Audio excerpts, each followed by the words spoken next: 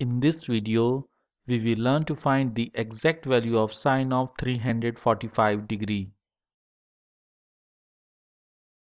345 degree is equal to 270 degree plus 75 degree. So sine of 345 degree is equal to sine of 270 degree plus 75 degree.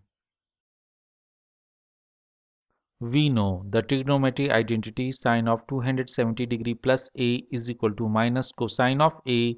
The proof of this trigonometry identity is explained in the video appearing in the upper right corner of this video.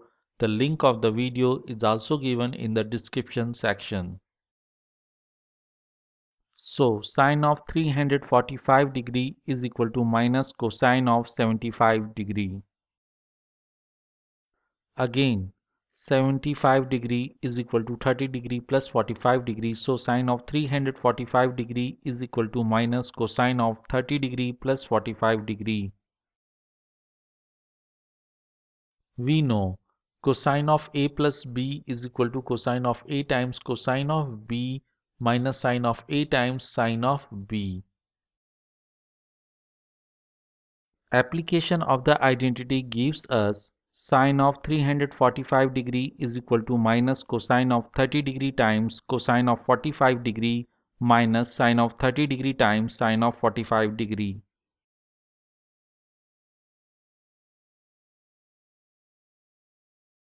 As we know, cosine of 30 degree is equal to square root of 3 upon 2, sine of 30 degree is equal to half and cosine of 45 degree is equal to sine of 45 degree is equal to square root of 2 upon 2. So we plug these values in the above equation.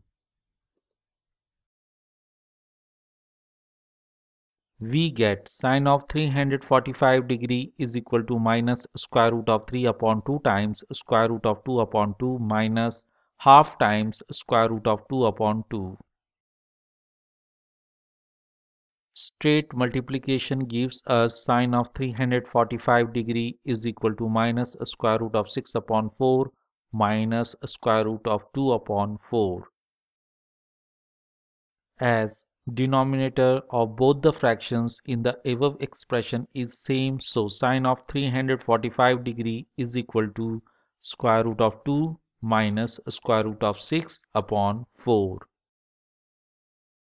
Taking out the common factor square root of 2 in the numerator gives us sine of 345 degree is equal to square root of 2 times 1 minus square root of 3 upon 4. Thank you for being with me. I hope you like this video. Please click the like button and subscribe button. Do not forget to press the notification bell so that you get the notifications of my new videos. Share the video and do write in the comments.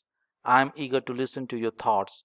If you have any question related to video, if you think I should make a video on any other topics in which you are interested, please write in the comments. Thank you.